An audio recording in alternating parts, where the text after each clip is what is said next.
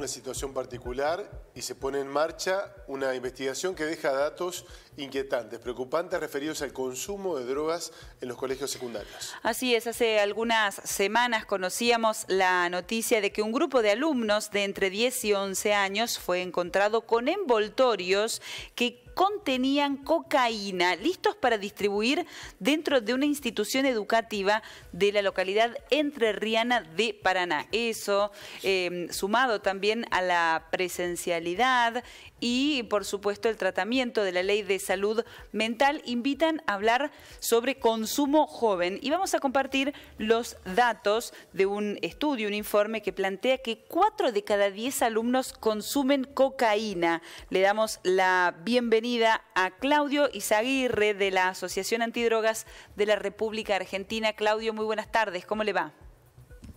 Un gusto escucharlos, un abrazo desde Buenos Aires. Claudio, los datos eh, emergentes a partir de esa investigación son eh, lapidarios. ¿Por qué no los repasa? Bueno, eh, a ver, la situación de Argentina es muy, muy complicada porque hace muchos años que no se trabaja en la cosa preventiva. Por lo tanto, hoy andamos alrededor de em, unos 15.000 alumnos de colegio secundario vendiendo drogas en, todo el territorio nacional. Es decir, eh, ¿por qué los pibes para la venta de drogas? Porque em, no pueden ser alcanzados por el brazo de la ley.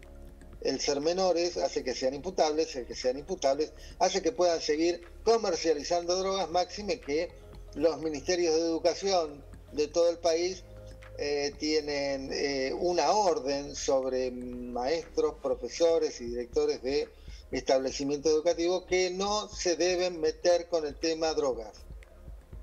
La excusa es que pueden poner en riesgo su propia vida los maestros y profesores. Por lo tanto, este tipo de temas no se deben tocar dentro de las aulas. Y vemos la situación en la Argentina que cada vez se va complicando más porque obviamente el consumidor de drogas de cuarto año, de quinto año del colegio secundario, ha encontrado en la venta de drogas la posibilidad de solventar su propio consumo. Esto por una parte. Y por otra parte, lo que se empieza a ver ya son chicos de 10, 11 años que están comercializando drogas en la escuela primaria. Y alguna vez algún señor este, me dijo, pero Izaguirre, un chico de 10 años, 11, no tiene poder adquisitivo para ir al puntero y comprarle este, 10 papeles o 10 bolsitas. Yo digo, es correcto, no la tiene. Es el hijo de un vendedor de drogas que quiere una Play. Entonces el padre dice, bueno, para la Play trabaja. Vendes esto entre los chicos de colegio y, este, y con tu ganancia te compras la Play o lo que vos quieras. Y ahí comienza este, un, eh, bueno, una vida laboral por parte de los niños. Imagínense un chico de 14 años de edad que está recibiendo por día 7 mil pesos, que lleva los 7 mil pesos a la casa todos los días. La madre le hace un monumento en la plaza principal. Recién yo acabo de llegar de, em, Carlos Casares, una ciudad de la provincia de Buenos Aires, no creo que tenga más de 30.000 habitantes. Plagado de droga. Esta es la realidad. O sea, si Carlos Casares está plagado de droga, imagínense el territorio nacional.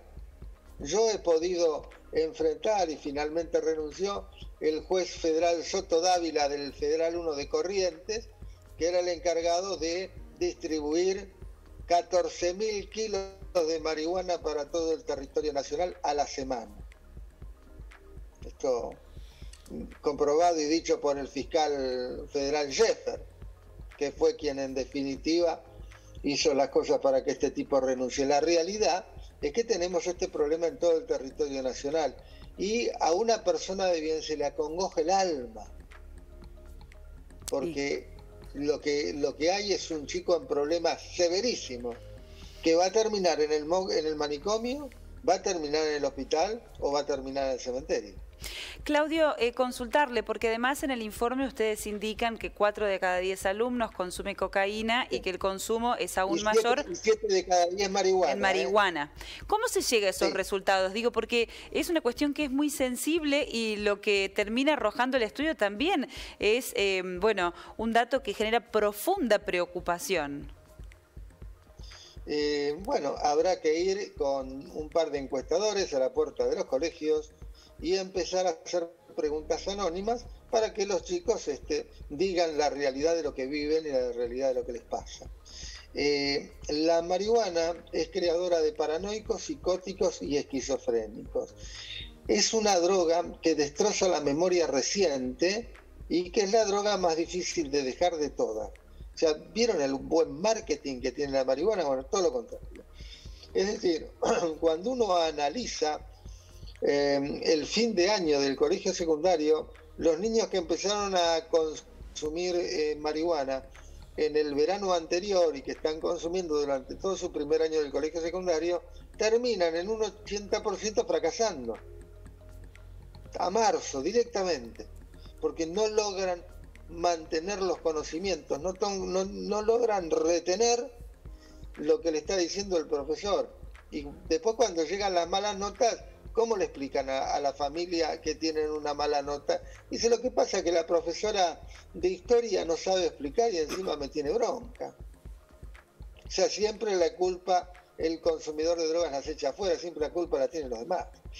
Y en este sentido, este, uno va mirando cómo van autoexpulsándose del sistema escolar los consumidores de drogas y llegado al tercer año de edad, eh, ahí se, estas son encuestas del Ministerio de, Justicia de, la Nación, este, donde se une en ese tercer año del secundario, después de que han consumido durante el primer y segundo año, se junta la deserción escolar con el primer delito y ahí tenemos un tema grave que comienza a transitar esta persona que va a estar consumiendo durante los próximos 10 años, hasta que dentro de 10 años se dé cuenta que tiene un problema con la sustancia. Pero el problema que tiene ahí es que la ley de salud mental impide la internación compulsiva de droga dependiente, considerándola secuestro y procesando como secuestrador al médico tratante, al director de la institución, a los staff, van todos presos con una condena de 8 a 15 años de cárcel. Ustedes sostienen que es necesario modificar esa ley de salud mental, que tiene que avanzar el, debate. No no, no, no, no, yo lo que este, sostengo que la ley de salud mental debe desaparecer.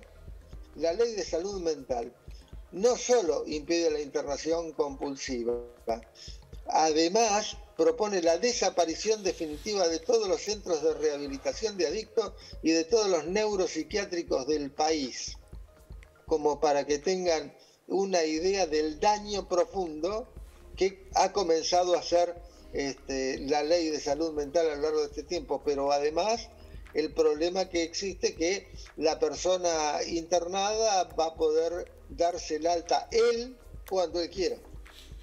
Y acá tenemos otro problema serio. Y va a elegir cuál es el tratamiento que a él le parece que le conviene.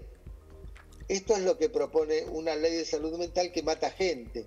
O sea, si el Piti Álvarez hubiera tenido, mm, por decirlo de alguna manera, un tratamiento este, correcto cinco años antes del suceso de los tiros contra su vecino, este, la historia de Piti Álvarez era otra pero dejaron, la ley de salud mental permite que llegue primero la policía y no el sistema de salud.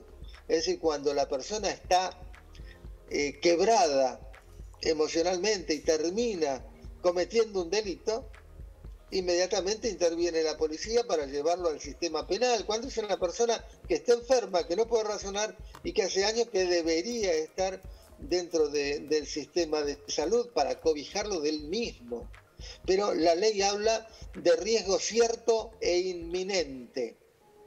Una vez que desaparece la inminencia, se lo devuelve a la casa. Es decir, cuando el, riesgo es cierto e inminente, lo que hacen es internarlo por cinco días. Le dan medicamentos, baja el cuadro y lo mandan de vuelta a la casa. ¿Y saben qué hace cuando llega a la casa? La mira la madre con odio y le dice, vos me mandaste a la policía y al psiquiatra, ya vas a ver lo que te voy a hacer.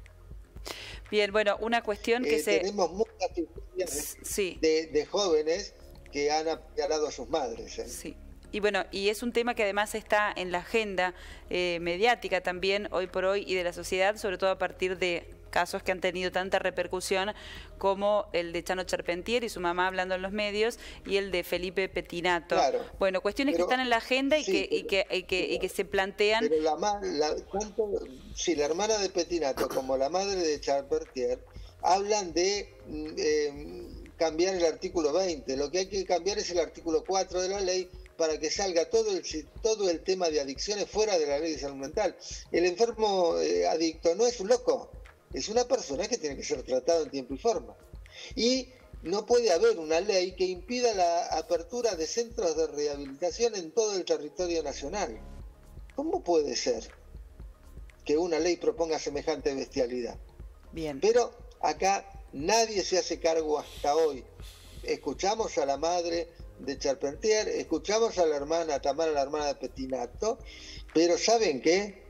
Los diputados y los senadores se esconden abajo de la cama hasta que cese el ruido.